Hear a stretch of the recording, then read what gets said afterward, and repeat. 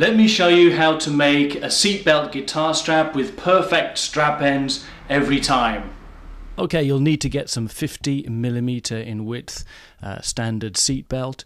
The blue part here is 50 centimeters in length, and the longer black part is 110 centimeters. The actual construction is very simple, and we'll be concentrating mostly on the leather strap ends.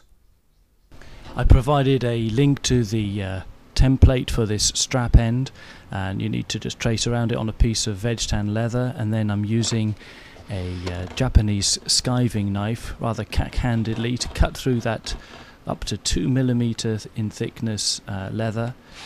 I'm not an expert in this and uh, it took me two passes to get through the leather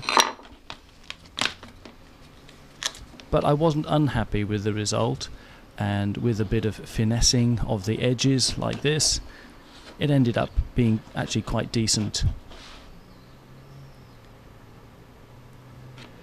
A better way by far is to use a dedicated cutter.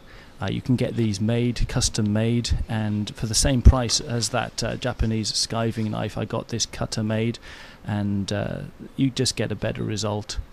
But the one I did by hand is certainly usable, as you can see here.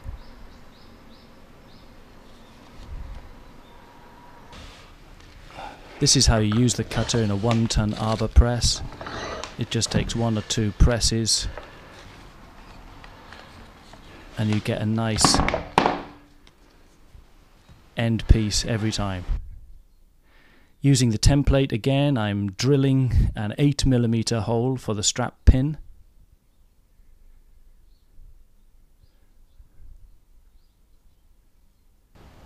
And then using it again, the template again, I can see where the uh, slit line has to be. Now, the, on this um, prototype, the slit was actually too long. Um, really, it, it, needs to be only double the size of the strap pin. If it's any longer, uh, it may just slip off the uh, end of the, uh, the guitar, uh, even with um, you know rubber washer uh, strap locks. So I recommend making a shorter slit than you see here.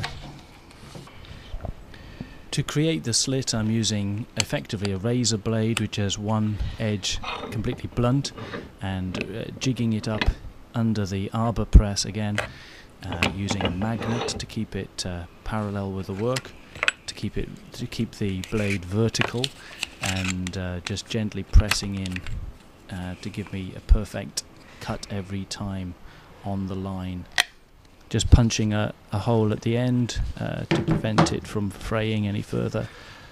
But just to say again, yeah, that slit is actually too long.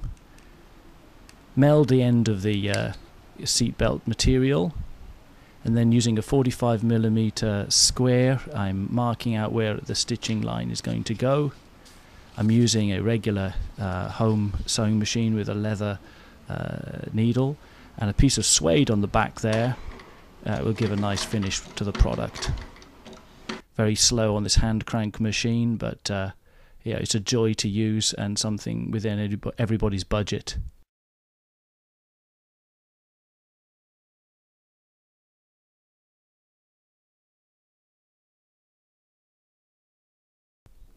These are the different types of uh, uh, buckles that you can use. This is a cam buckle, um, and the one uh, just above it is a regular type of buckle, but uh, the problem with those on guitar straps is it leaves a flappy bit, a bit of a tail that uh, most people wouldn't like. So the more orthodox way is to use a combination of the top two buckles that you see here.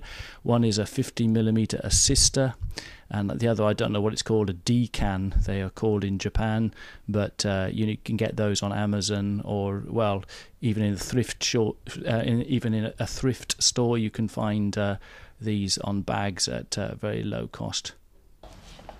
So to construct the belt you sew the shorter piece just like that there and then the longer piece you first sew it onto the middle bar of the assister that you can see there and then you can feed it through that loop there and then back over itself so that it comes through the end there so then it can be adjusted without difficulty and then your strap is finished.